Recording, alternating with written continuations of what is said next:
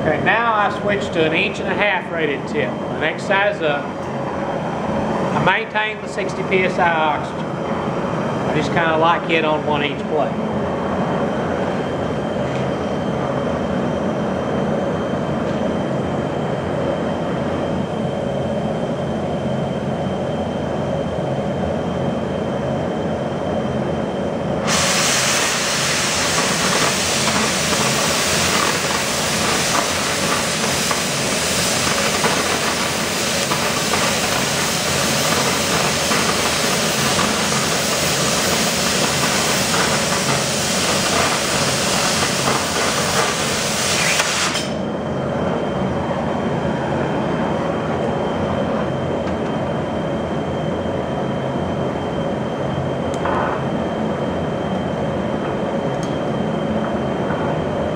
As you can see, a nice clean cut, very little slack.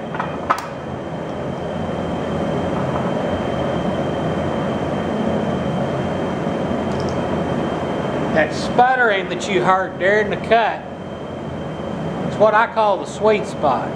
If you can make it travel, if you're traveling at the speed to make it do that, it's going to produce a pretty good cut with very little slack.